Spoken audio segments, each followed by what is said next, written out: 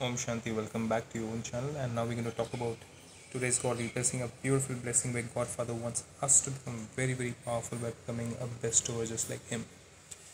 So, we need to be aware of that fortune which we have received from the Supreme Creator. Now, that is a feeling which is felt and not, cannot be explained at all. But we'll try to understand that in a deeper level of here. So, God says in today's blessing, 16th August blessing, may you be cooperative with the awareness of your fortune and the bestower of fortune and thereby remain constantly happy and share that happiness. When we share that's time our happiness increases. This is a secret. Now sharing is not about giving something in a physical because that can be forgotten by people. Sharing is something which you give in spiritual in a higher sense.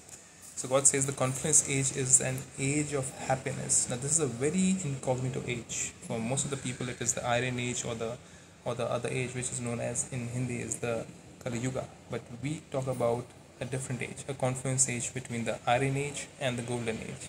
Yes this is the transition age which is going on. So it is an age of pleasure. Therefore remain constantly happy and continue to share this happiness.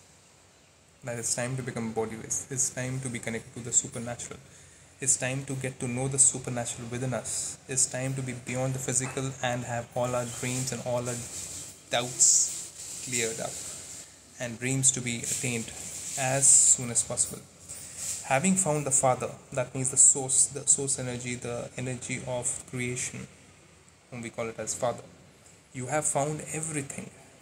This awareness will make you an easy yogi. And yogi means somebody who's connected to the supernatural connected to the thing of the world beyond the physical. That's a yogi. So, people of the world say that you cannot find God without any hardship. That's the general belief of people in the world. You have to go on pilgrimages, you have to do a lot of penance, you have to walk barefoot, you have to do so many things, you have to spend so much money to get God. God says, I am beyond all this, I am beyond the physical efforts which you're putting. So God says, and you say you have found the Father while sitting at home. Such a beautiful thing which cannot be explained. Then God says, You have found what you didn't even think of. You found the ocean of happiness. Stay in this happiness. This is easy yoga. Now, to understand what exactly we are talking about over here in a non physical essence, non physical is the realm of the spiritual world.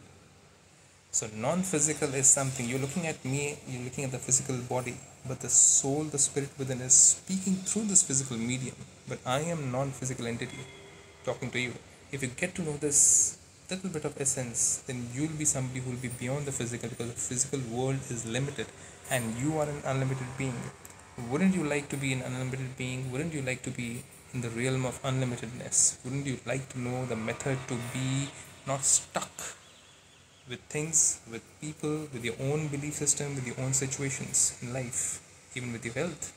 And if you would like to know the answers, then you can also come over and learn to become an easy yogi at Brahma Kumaris with this Om Shanti.